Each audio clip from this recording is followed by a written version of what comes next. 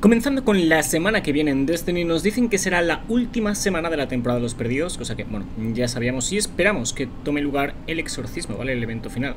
Luego dicen lucha para conseguir valor en el último estandarte de hierro, y eso me recuerda, recordaros, que serán las últimas pruebas de Osiris, ¿vale?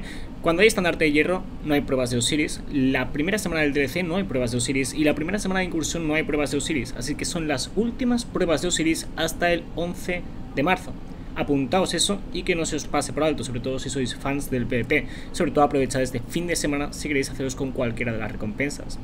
También, por cierto, habrán más puntos de nivel en Crisol durante toda la semana, será más fácil subir de rangos y estará el asalto de ocaso el lago de las sombras, el mejor, el más farmeable. No es que haya puntos dobles de ocaso ni nada de eso, pero bueno, sigue siendo de los mejores para farmear, así que habrá que sacarle partido. Para ir a ver a Chur tendréis que venir a Nessus. Si sois nuevos, es el planeta este que veis aquí en la esquina. Y tendréis que aterrizar aquí en Tumba del Vigía. Ahora seguís el camino que veis de fondo en pantalla y ahí encontraremos a Chur. Ahora, en el directo de este martes pasamos por el Chur glitcheado, ¿vale? Vimos lo que nos podía traer en cuanto a armas esta semana y la, verdad que hay un par de muy buenas recomendaciones, así que atentos a lo que nos va a mostrar ahora. Yo no sé por qué con el cazador siempre termino tropezándome, pero hey, Aquí como veis tenemos a Chur. Así que vamos a ver lo que nos ha traído este fin de semana.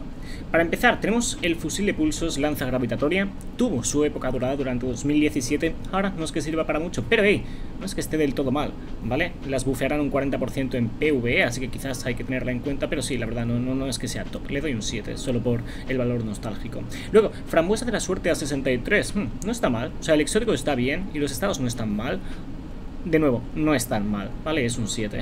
Luego tenemos Máscara del Silente a 65. Este no está mal, ¿vale? Porque este hace que regeneres energía cada vez que te dañan, ¿vale? Y a todo el mundo le dañan, ¿vale? Dice, otorga energía de habilidad cuando estás dañado y cuando estás dañado de gravedad recuperas la salud al máximo con cada baja. O sea, definitivamente es un exótico que sirve mucho para el PvE y en el PvP no lo he probado tanto, ¿sabes? Seguramente hay más una situación en la que te puedas salvar, pero no sé cuán útil puede ser eh, en comparación con por ejemplo, Sintoceps o algún otro exótico que pegue más fuerte en PvP. Pero sí está muy bien con esos estados, la verdad, estoy pensando en pillarlo. Tendré que ver a cuánto lo tengo en el titán, este exótico. Y finalmente tenemos Astucia Invernal con 61. Es así que ya no me gusta ni lo que hace, ni me gusta eh, los estados, ¿vale? Este de un 5 raspado. Ah, en cuanto a armas, tenemos hambre constante, que es buen ah, automático, y tiene demoledor, que es una ventaja que me gustan automáticos y subfusiles, y también tiene subsistencia, que es otra que me gustan automáticos y subfusiles, así que no está nada mal, no está nada mal. Eh, la próxima temporada los, automáticas, ah, los automáticos servirán para las barreras, creo que eran barreras, si no recuerdo mal, barreras o sobrecarga, pero creo que eran barreras, así que es muy eh, importante tenerlo en cuenta, yo lo consideraría Godroll, sobre todo si os interesa sacarle partido a las habilidades de granada y demás. Luego tenemos último baile con desenfundado veloz que va genial para una pistola, porque la sueles sacar cuando estás en problemas, cuando has vaciado la, arma principal que estés usando. Y tiene libélula también, así que no está mal, supongo. O sea, la libélula en particular para el PvE, ¿vale? O sea, se podrían venir mejores para el PvP, pero no está mal. Luego tenemos fría negativa con espada sin ladrón de tumbas. Este ya sí no voy ni a analizarlo, no me cunde tanto. Wow, wow, wow, wow, tenemos séptimo serafín con desenfundado veloz y arma vorpal, ¿vale? Lo cual va genial, o sea, tanto para PvE con el vorpal como para PvP, porque con una escopeta también puedes bajarte una super, y esto aumenta el daño contra guardianes que tengan la super activa, así que no está nada mal, desenfundado también nos va a ir bien para el PvP. Para el PvE no es que vaya a usar tanto esta ventaja, pero eh, sigue estando muy bien esta escopeta, la verdad. Pocas veces pienso en pillar una escopeta para el PvE, eh, pero esta en particular la verdad me ha llamado la atención, es muy probable que la termine pillando. Miraré a ver miraré a ver el resto de escopetas que tengo. Luego tenemos el francotirador Ikelos con cargador múltiple y sin distracciones y Garfio de la Tentación con arma vorpales, que esta es la que os dije que os pillarais 100%, una espada con arma vorpal tienes que tenerla. Necesitas una espada con arma vorpal, si no tienes ninguna otra, hazte con esta ya mismo. También tiene filo incansable que hace que te dé munición cada dos bajas con espada, cuando estés enfrentándote a rasos. Así que no está nada mal esta espada, os la recomiendo muchísimo, esta escopeta también y el automático.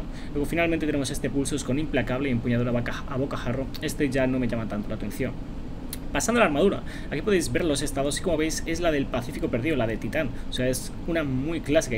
Fijaos en este casco, lo tenemos a 65, son muy buenos estados para los cascos de cazadores, si sois cazadores entrad con el cazador, ¿vale? Para haceros con el casco porque seguramente os haga falta para algún elemento. O sea, por ejemplo, en mi caso tengo este de vacío, arco, solar, y estasis, pero no todos tienen buenos estados, ¿vale? Seguramente este de 65 me sirva, ah, así que tened esto en cuenta, o sea, el 65 está genial, recordad que si venís con hechicero o titán serán distintos los estados, ¿vale? Y bueno, la armadura será el mismo set, pero para las distintas clases, lógicamente. Ahora, al margen de eso vamos a ver qué onda con las últimas pruebas de Osiris. Por cierto, shoutout a estos panas. Blazing Boost ya es patrocinador del canal desde hace más de un año y ofrece servicios de ayuda en Destiny 2 para ayudaros con lo que sea, desde pruebas de Osiris, cámara de cristal maestro, grandes maestros, lo que sea. Ahora, además, también tienen una web especial para el 30 aniversario y todo lo que se puede completar y obtener, incluyendo el sello, los exóticos, todas las armas legendarias y demás. Cuentan con un 5 de 5 en Trustpilot y más de 20.000 reviews positivas. Y además, contamos con un código de descuento, Wealth, como veis de fondo en pantalla, con el que os ahorraréis un dinerito, así que, ¿a qué esperas? Si te interesa, tienes un link abajo en la descripción. De nuevo os recuerdo que son las últimas pruebas de Osiris hasta el 11 de marzo, ¿vale? Pasarán tres semanas sin pruebas de Osiris. De nuevo, o sea, no, no me voy a cansar de repetirlo porque sé que hay gente que, que lo va a pasar por alto, ¿vale? Así que avisad también a vuestros compañeros si es que no se enteran de ello. Ahora, el mapa de las pruebas de Osiris este fin de semana es Infinito, a menos que pongan algún tipo de rotación, ¿vale? Por lo que tengo entendido es este, ¿vale? A menos que empiecen a rotar. Así que sí, vaya infinito por lo que tenemos entendido. Y ahora, tenemos aquí a San 14 que nos dice las recompensas que tenemos. Para empezar, en cuanto a la del faro, la impecable, tenemos el cañón de mano martillo ignio, que es una de las que desaparece la próxima temporada, una de las mejores, de hecho. Y como veis, este fin de podemos hacernos con la versión adepto, experto, si no la tenéis totalmente recomendada que os hagáis con esta, o al menos con esta.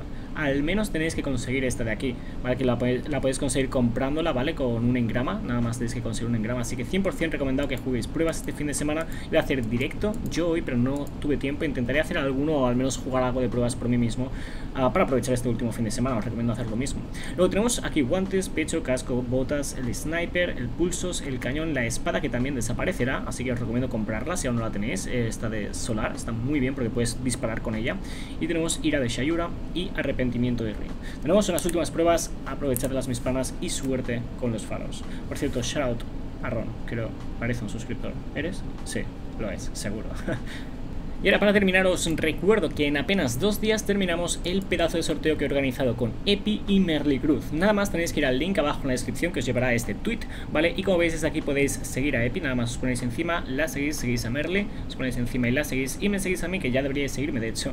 Hacéis retweet y like a este mismo tweet y como veis pues en menos de 10 segundos ya lo habéis hecho, ya estáis participando. Como os digo en apenas dos días, el 13 de febrero termina, así que si quieres participar te dejo un link abajo en la descripción. Dicho eso, bendiciones. Chécate los otros muchos vídeos que te he estado subiendo. Atento para los próximos. Prepárate para la Reina Bruja con la guía de preparación que te subí. Sí, sí, chécate los pinches vídeos, ¿vale? YouTube no los comparte bien. Bendiciones, ya tu madre que la quiere. Suerte en las pruebas de Osiris. Buen día, mejor fin de... Uh, sí, suscríbete si no lo estás. Y nos vemos en el próximo vídeo. O en otro si vas a checarlo. Adiós.